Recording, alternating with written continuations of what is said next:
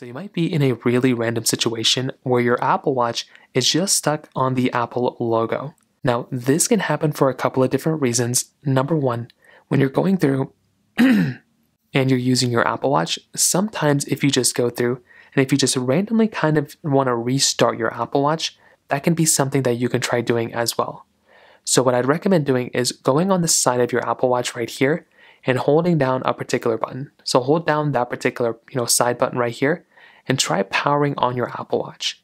You can try going through and holding down this Apple Watch a couple of times, like this button, and you want to see if that triggers anything for it to basically just you know power back on. So, try holding down this button on the side right here and see if that ends up working.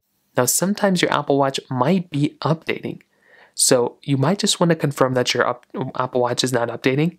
If you have the Apple Watch, you know, app, that might be the way to go through and just double check that you didn't send an update to your Apple Watch. Give it like a couple of minutes, especially if you see a little ring around your Apple Watch. That might mean your Apple Watch is updating. I would not recommend clicking any buttons while your Apple Watch is updating. Now, you can also try going through and try putting your Apple Watch onto a charger of some sort. So if you have a charger, if you have anything like that, I would recommend going through and putting your and placing your Apple Watch on a charger and kind of charging your Apple Watch that way. You can also see for me, my Apple Watch is still powering on. This is an older Apple Watch, so it's going to be stuck on this Apple logo for quite some time. So what I'd recommend doing is just let it sit there, let it try powering on, because these Apple Watches, especially the older ones, take a long time to go and power on. So those are kind of the main ways to go and do it.